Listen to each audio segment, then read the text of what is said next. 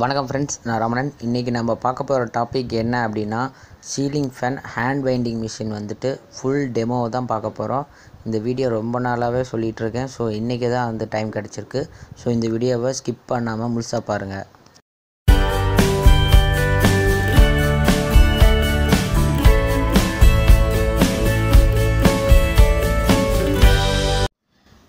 இதில் முக்கியமான விஷயம் ஒன்று சொல்லணும். அது என்ன அப்படின்னா நம்ம சேனல் ஆரம்பித்து இன்னையோட ஒன் இயர் ஆகுது. சரியாக ஒன் இயர் ஆச்சு. ஸோ வந்துட்டு நான் இதுக்கு வந்து என்ன பண்ணோம் அப்படின்னா சப்ஸ்கிரைபருக்கு தான் நன்றி நன்றி சொல்லணும். ஏன்னா ஃபுல் அண்ட் ஃபுல் பார்த்திங்கன்னா அவங்களோட சப்போர்ட்னால தான் நான் அந்தளவுக்கு டெவலப் ஆகி வந்தேன். So thanks for all subscribers இப்போ ஒரு சின்ன வீடியோ கிளிப் தான் பார்க்க போகிறீங்க எதை பற்றி அப்படின்னா நம்ம இந்த மிஷின்லாம் எப்படி எப்படிலாம் மேக் பண்ணோம் அப்படிங்கிற ஒரு ஃபோட்டோ வீடியோ கிளிப் தான் இப்போ பார்க்க போகிறீங்க அதை வந்து உங்களுக்கோசரம் காமிக்கிறேன் பாருங்கள்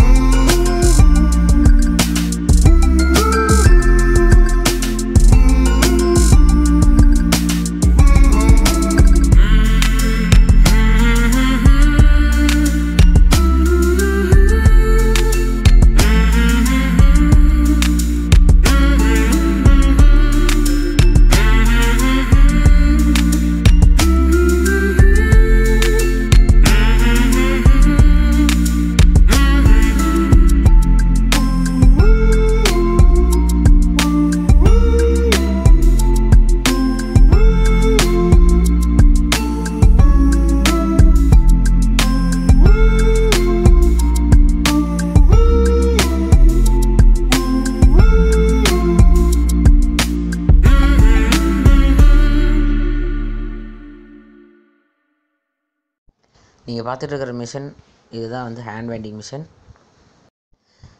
இதை பற்றின டீட்டெயில் தான் நான் உங்களுக்கு சொல்ல போகிறேன் இது வந்து எப்படி ஒர்க் ஒர்க் ஆகுது இதோடைய பர்ஃபாமன்ஸ் அண்ட் இதில் இருக்கிற கவுண்டிங் செக்ஷன் எல்லாமே உங்களுக்கு டீட்டெயிலாக சொல்ல போகிறேன் இது பார்த்திங்கன்னா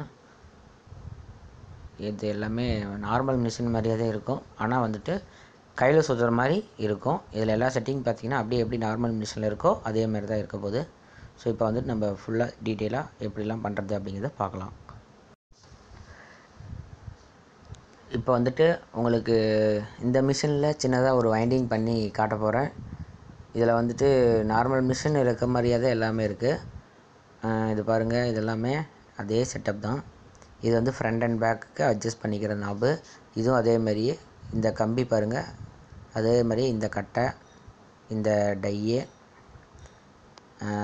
இதில் தான் வந்து கம்பி வெளியே உள்ளேருந்து வரக்கூடியது. இது வந்து எண்டில் பார்த்திங்கன்னா உட்டு உட்டன் பீஸில் ரெடி பண்ணியிருக்கோம் அடுத்து பார்த்திங்கன்னா சென்டர் பேரிங் ஒன்று இருக்கும். சென்டரில் பேரிங் ஒன்று போட்டு ரெடி பண்ணியிருக்கோம் அடுத்து கவுண்டிங்க்கு பார்த்திங்கன்னா இப்போதைக்கு கால்குலேட்டர் யூஸ் பண்ணியிருக்கோம் இது வந்து டிஜிட்டல் மீட்டரில் வந்துடும் உங்களுக்கு. அடுத்து பார்த்திங்கன்னா இது வந்து ஹேண்டில் இது வந்து ஹேண்டில் ஹெவி ஹேண்டில் போட்டிருக்கோம். அடுத்து பார்த்திங்கன்னா இது கம்பி வந்து டைட்டர் ஓகே ஃப்ரெண்ட்ஸ் எப்படி வைண்டிங் பண்ணுறதுன்னு பார்க்கலாம். ஃபஸ்ட்டு இந்த கம்பியை பார்த்திங்கன்னா எடுத்துகிட்டோன்னே நம்ம இந்த டைட்னர் அதாவது பார்த்திங்கன்னா இந்த ஸ்பாஞ்ச் வழியே நம்ம எடுத்துக்கிறோம். ஸ்பாஞ்ச் வழியே எடுத்துகிட்டு நம்ம எவ்வளோ டைட் வேணும்னாலும் வச்சுக்கலாம். இது வந்து காயில் ஃபினிஷிங்கை பொறுத்து நம்ம டைட் வச்சுக்கலாம். லூஸாக இருந்துச்சு அப்படின்னா ஓரளவுக்கு ஒரு அரை மரம் சேர்த்து வச்சோம் அப்படின்னா காயில் வந்துட்டு டைட் ஆகிக்கும் நல்லா ஃபினிஷிங்காகவும் வரும். அடுத்து பார்த்திங்கன்னா ஒரு ஹோல் இருக்கும். இதில் வந்து பார்த்திங்கன்னா ஒரு பிளாஸ்டிக் பைப்பு உள்ளே ஒன்று போகும். ஸோ அதில் நம்ம வந்து இந்த கம்பியை விட்டோம் அப்படின்னா இது வந்துட்டு இந்த பக்கம் அதாவது லெஃப்ட் சைடில் ஃப்ரண்ட் சைடில் உங்களுக்கு இந்த கம்பி இது வழியாக பைப்பு அதாவது பார்த்திங்கன்னா இந்த பிளாஸ்டிக் பைப்பில் வெளியே வந்துடும் பாருங்கள் பின்னாடி வந்து விழும்போது ஃப்ரண்ட்டில் அந்த கம்பி வந்துடும் ஓகே வந்துடுச்சிங்களா? அடுத்து பார்த்திங்கன்னா இந்த கம்பியை அதுக்கு மேலே இருக்கிற அந்த பிளாஸ்டிக் பைப்பில் விட்டு நம்ம காயில் கட்டுறதுக்கு வெளியே எடுத்துக்கலாம். இது வந்து நீங்கள் டபுளாக போடுறது நல்லது. டபுளாக போட்டிங்கன்னா ஈஸியாக வந்துடும் நான் வந்து டபுளாக மடக்கி தான் வெளியே எடுக்கிறேன். ஏன்னா டபுளாக மடக்கும்போது தான் ஃப்ரீயாக வந்துடும் பாருங்கள் இது வந்து டபுளாக மடக்கி நம்ம அந்த ஹோல்ஸ்குள்ளே நம்ம இன்செர்ட் பண்ணோம் அப்படின்னா வெளியில் வந்துட்டு கம்பி வந்துடும் நம்ம எடுத்து யூஸ் பண்ணிக்கலாம். இப்போ பாருங்கள் கொஞ்சம் இந்த இடம் கொஞ்சம் சிரமமாக தான் இருக்கும். ஒரு டைம் விட்டிங்களே உங்களுக்கே பழகிக்கும். ஓகே இதில் வந்து கிரீஸ் லைட்டாக அப்ளை பண்ணியிருக்கோம் ஃபஸ்ட்டு ஓகே இப்போ பாருங்கள் கம்பி வந்து வெளியே வந்துடுச்சு. இப்போ நம்ம என்ன பண்ண போகிறோம்னா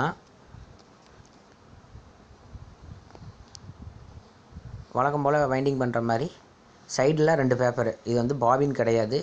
இதுக்கு பாபின் தேவையில்லை. எவ்வளோ பெரிய கோராக இருந்தாலுமே நம்ம இதை வச்சு யூஸ் பண்ணிக்கலாம். பாபின் தேவையில்ல. இப்போ நான் என்ன பண்ண போகிறேன்னு பாருங்கள் நான் வந்து இப்போ வைண்டிங் பண்ண போகிறேன் இந்த மிஷினை பற்றின டீட்டெயில் உங்களுக்கு ஏதாச்சும் தேவை அப்படின்னா கீழே இந்த காண்டாக்ட் நம்பரில் எனக்கு காண்டாக்ட் பண்ணி நீங்கள் டீட்டெயில் கேட்டுக்கலாம். இப்போ நம்ம வழக்கம் போல் நம்ம வைண்டிங் பண்ணுற மாதிரி தான். வைண்டிங் வந்துட்டு டைட் வச்சிடும் அந்த கோரில் இது வந்து கவுண்டிங்க்கு இந்த செக்ஷன் நான் யூஸ் பண்ணியிருக்கேன். ஒன் ப்ளஸ் ஒன் உள்ளே வந்து சென்சார் யூஸ் பண்ணி கவுண்ட் பண்ணுற மாதிரி நான் ரெடி பண்ணியிருக்கேன். இப்போ நம்ம என்ன பண்ண போகிறோம் அப்படின்னா வழக்கம் போல் நம்ம இந்த காயில் வந்து இதில் ரொட்டேட் பண்ணிவிட்டு நம்ம ஹேண்டில் இப்போ நம்ம ரொட்டேட் பண்ண போகிறோம் கம்பி வந்து சரியாக போகுதா அப்படின்னு சொல்லிட்டு ஒரு ரொட்டேஷன் பார்த்துக்குங்க.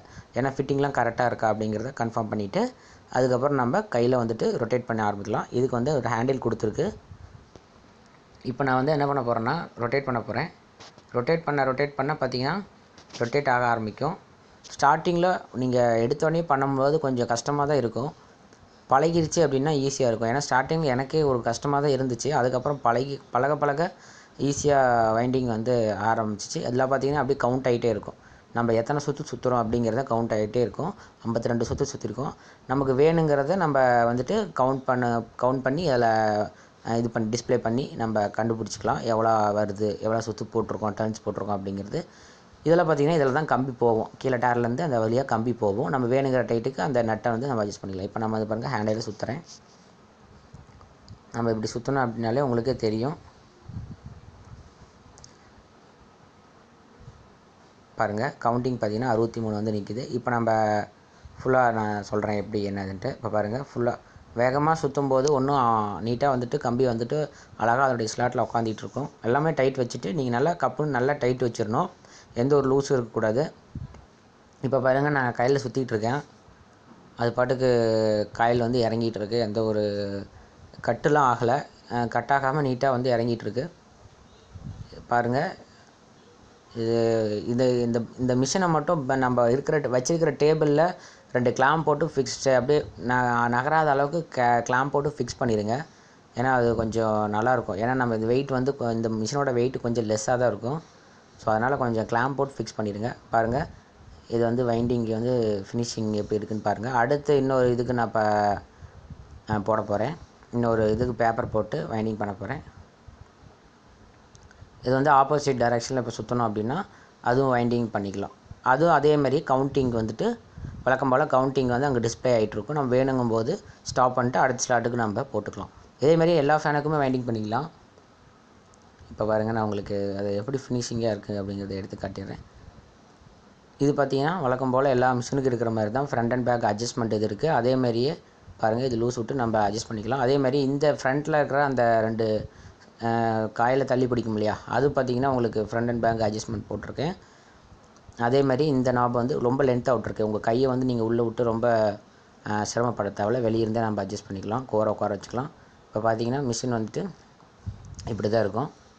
இதோடைய பர்ஃபார்மன்ஸ் நீங்களே பார்த்துருப்பீங்க. அப்புறம் பார்த்தீங்கன்னா இதை ச இதில் பார்த்தீங்கன்னா அட்ஜஸ்ட்மெண்ட்டு இது வந்து ஒரு இது அட்ஜஸ்ட்மெண்ட் போட்டிருக்கு. நீங்கள் ஃப்ரண்ட் அண்ட் பேக் அட்ஜஸ்ட் பண்ணிக்கலாம். அதே மாதிரி இது வந்துட்டு வெளியே வந்து உட்டனில் ரெடி பண்ணியிருக்கனால எந்த ஒரு கம்பி ஸ்க்ராச்சஸ் வராது.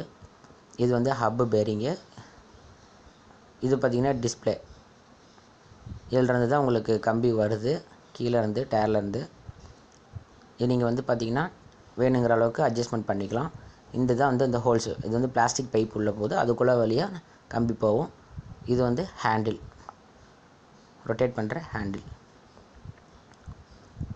அவ்வளோதான் இந்த மிஷினை பற்றி சொல்கிறது அவ்வளோதான் இதோடைய பர்ஃபார்மன்ஸும் இவ்வளோ தான் நீங்கள் வேணால் ஒரு வீடியோ வந்துட்டு அப்புறமா நான் ஃபுல்லாக ஒரு வைண்டிங் பண்ணி உங்களுக்கு தெளிவாக காட்டுறேன். இந்த வீடியோ உங்களுக்கு பிடிச்சதுன்னா லைக் பண்ணுங்கள் ஷேர் பண்ணுங்கள் கமெண்ட் பண்ணுங்கள் மெயினாக நம்ம சேனலை சப்ஸ்கிரைப் பண்ணாதவங்க சப்ஸ்கிரைப் பண்ணி வச்சுக்கோங்க. நன்றி வணக்கம்.